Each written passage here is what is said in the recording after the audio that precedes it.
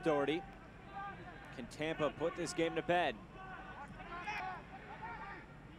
Getting all the way in. Keep, he's still going. He's going for a goal and it's in.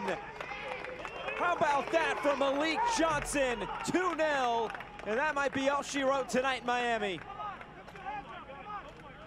Quite some time for Malik Johnson to get involved. One-on-one, -on -one. there's your substitute.